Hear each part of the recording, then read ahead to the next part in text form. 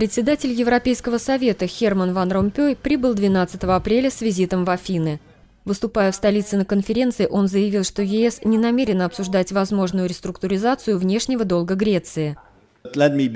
Позвольте мне внести ясность в этот вопрос. Эта тема не только не стоит на повестке дня, она находится вне обсуждения. Греция и ее кредиторы, ЕС и Международный валютный фонд, отказались от реструктуризации греческого долга. Однако разговоры о такой возможности все еще продолжаются среди представителей некоторых правительств еврозоны.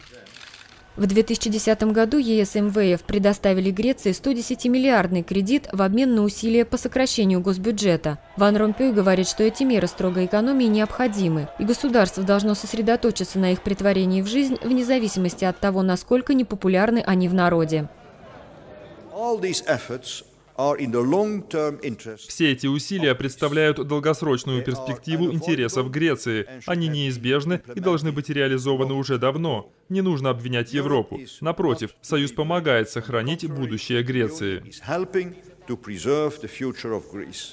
Экономический кризис уже вынудил три государства Евросоюза – Грецию, Португалию и Ирландию – согласиться на кредитную помощь. Во вторник Ван Ромпей сказал, что риск дальнейшего распространения финансового кризиса в еврозоне снижается.